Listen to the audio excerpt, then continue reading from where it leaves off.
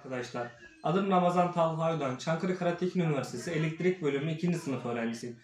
Yaptığım proje ödevim çizgi izleyen robot. Kullandığım malzemeler Arduino Uno, dörtlü çizgi izleyen sensör seti, lastikleri, jantları, sürücü kartı. Bu çizgi izleyen robotu genel olarak yarışma ve hobi amaçlı robotlardır. Ancak gelişen teknolojiyi takip edersek çok büyük ticaret pazarına yer alacaktır. Çünkü farklı alanlarda kullanım alanları mümkündür. Endüstride ve günlük hayatta çizgi izleyen robotlar belirli bir güzergah üzerine çeşitli eşya ve gereçleri taşıma aracıyla kullanılabilir. Bunu örnek verecek olursak arkadaşlar otomotiv sektörü, kafeler, sanayi, eşya temini, kargo firmaları gibi getir götür yapmak amacıyla kullanılabilir. Arkadaşlar projemi geliştirip örnek verdiğim sektörlerin işlerini hızlandırmak için çok faydalı bir proje olacağını düşünüyorum. Ve bu projeyi denemek için pis alanına gidiyoruz arkadaşlar.